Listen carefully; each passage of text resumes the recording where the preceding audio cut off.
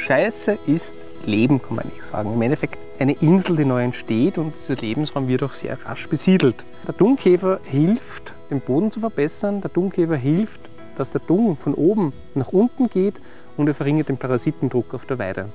Der perfekte Dunghaufen am Anfang ist außen kross, innen feucht. Der ist super, he? Der, ja, nehmen wir den, passt.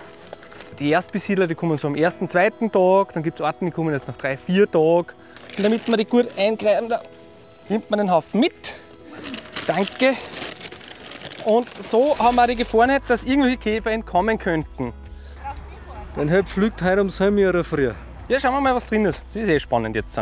Wir haben da heute eine einzigartige Praxiswerkstatt zum Thema der Naturschutz steckt in der Scheiße, genauer gesagt im Kuhfladen. Das ist eine ganz spannende Sache.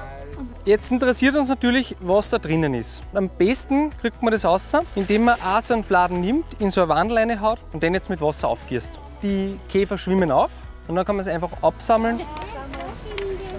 Hast du schon was gesagt? Wie viele Dungkäfer da drinnen sind, das interessiert mich. Und wie sie aussehen und wie groß sie sind. Von den Dungkäfer her ist jetzt nicht viel drin von diesen, diesen Skarabiden. Es sind aber auch Staphyliniden drinnen, wie man sieht. Auch diese Hydrophiliden sind drinnen. Die Dungkäfer, die aber spannender zu bestimmen sind, sind die Skarabiden, also die Blatthornkäfer.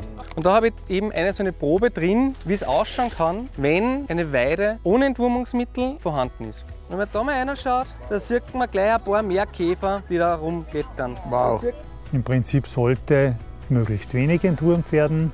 Die Entwurmung hat einfach auf diese Insektenpopulationen einen negativen Einfluss. Das heißt, die sterben teilweise früher, die bringen weniger Nachkommen zustande. Das Besondere an der Weide ist, diese Rinderweide hat noch nie ein Tierarzt gesehen, seit 1960. Die stehen das ganze Jahr draußen. Und da wundert es auch nicht, wieso dort der Dung nach zwei Wochen weg ist. Der ist dann komplett weg. Je mehr Mistkäfer sind, desto schneller wird der Dung abgebaut oder vergraben und ist weg von der Weide. Da die Diversität, wenn man sich das anschaut, die Farbenform ist eigentlich schon spannend. Also hast du welche mit schwarz gepunktet, der ist ganz rötlich oben. Also ich sage immer, eine gute Weide für mich sind da, wenn 200, 300 Individuen drin sind. Das ist super. Der zum Beispiel ist ganz nett und spannend. Der ist Ontophagus taurus und der Name ist Programm. Schaut sich mal die Stierhirndl an von dem. Der hat so richtige Stierhörner vorn.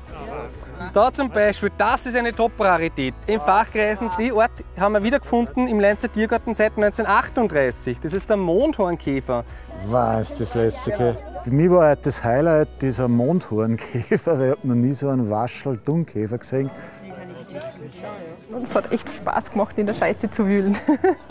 Gerade Artenvielfalt im Kuhfladen ist in dieser Modellregion Flachgau-Monseland sehr wichtig, weil die Weidehaltung wird immer wichtiger. Und wenn man jetzt durch gezielten Einsatz von Entwurmungsmitteln mithelfen kann, dass mehr Insekten im Kuhfladen sein können und wenn das natürlich nur einen Zusatznutzen zu meinem Kuhwohl liefert, ist das eine Win-Win-Situation für alle.